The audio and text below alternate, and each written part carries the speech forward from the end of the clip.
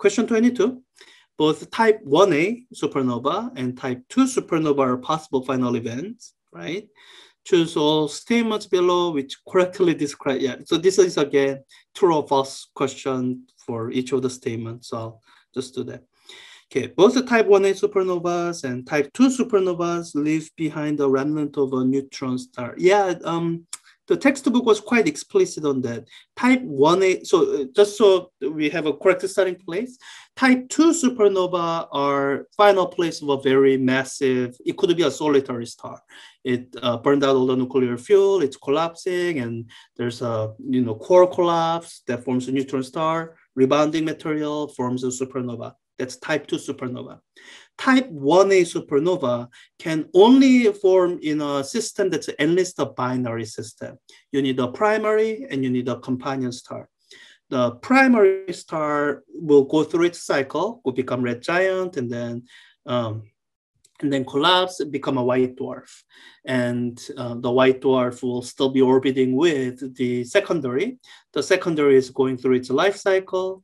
And as the secondary uh, reaches its end stage, as it becomes red, red giant, it's expanding, the material transfer takes place.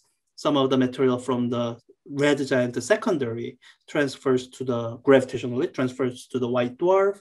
And as the material accumulates, at some threshold, it um, the the mass uh, becomes above the Chandrasekhar limit, the mass limit for white dwarf. So it undergoes the, the, collapse and explosion.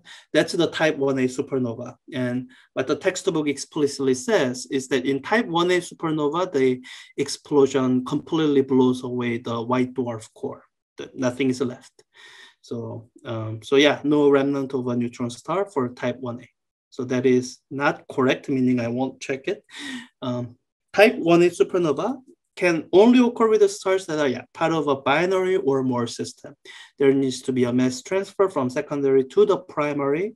Yeah, causes further collapse, which results in a supernova collapse. Yeah, that is it.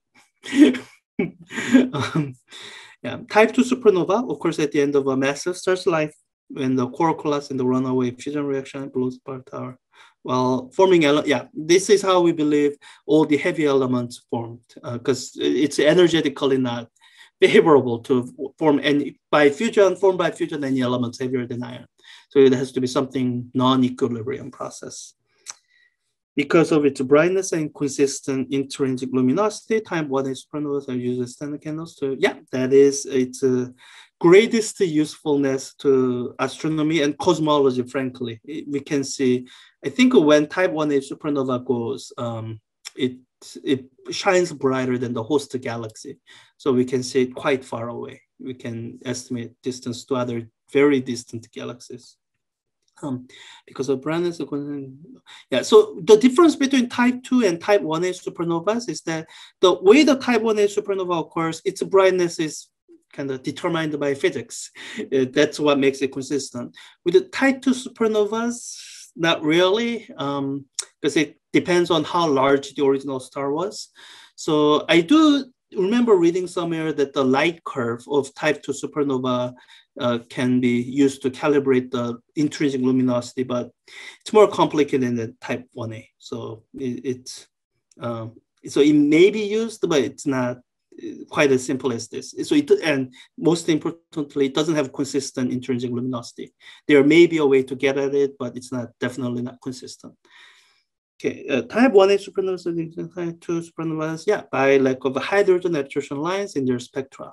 So type 2 supernovas, when they go off, there's going to be the outer layers that contain a lot of hydrogen. They absorb the light type 1a supernova, it starts out with that white dwarf core. They already burned off all the hydrogen or fused away or blown away all the hydrogen that could be there. So uh, type 1a supernovas don't have hydrogen absorption lines. So yeah, that's it, true or false.